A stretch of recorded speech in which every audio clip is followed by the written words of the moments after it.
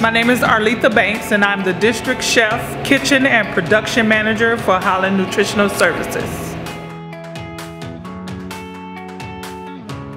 I uh, make sure that the food is where it needs to be. Every school has their supplies. I make sure that I am basically just a phone call away from all of our staff, which is about 25 district-wide, with any concerns or um, problems that they have.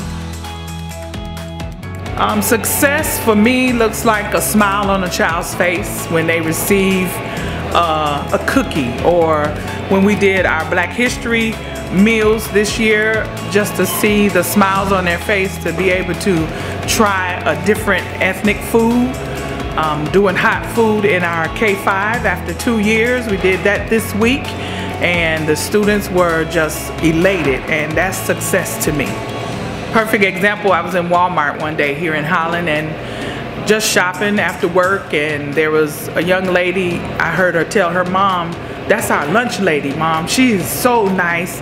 And she brought her mom over and introduced her mom to me. And she uh, let her know who I was and I was able to interact with them outside of work. Um, before I came to, I've been in the food service industry now 30 years. I've been a lunch lady for a lot of people.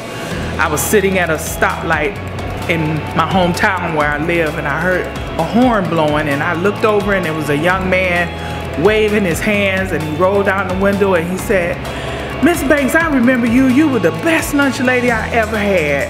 And he told his kids in the car, everybody need a lunch lady like Miss Banks. Love you, Miss Banks. And he just took off. And I couldn't tell you who he was, but he remembered me and that makes it all worthwhile. I think leading with your team is important. Um, not asking them to do something that you wouldn't do. Being able to, with food service, to sweep a floor, mop a floor, wash a dish, or cook a meal. As leaders, we can't sit on our throne and give our orders and have people do what need to be done without being a part of that team to get to be a leader, you have to be a team player, and it doesn't stop once you get into that leadership position. You don't always have to be number one to be the leader. You can lead from behind. And I think that's our best way to show others that leading isn't so hard. Yes, it gets hard, but we can handle it. So I think leading from the margins is, is it stops the problem before it grows. To overcome struggles, I, I approach them calmly and with an open eye and all sides of the problem, where the issues, if it's my fault or it lays in someone else's lap that is their fault, but we work at it until we can figure it out and we make sure that um, our end of the service part for food service is complete. I think it has to be across the board.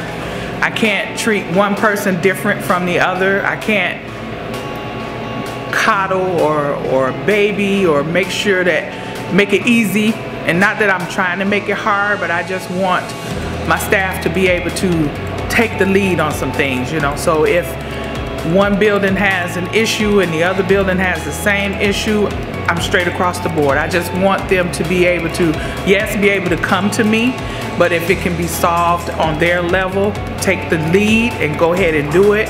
Let me know this is what happened, this is how I handled it.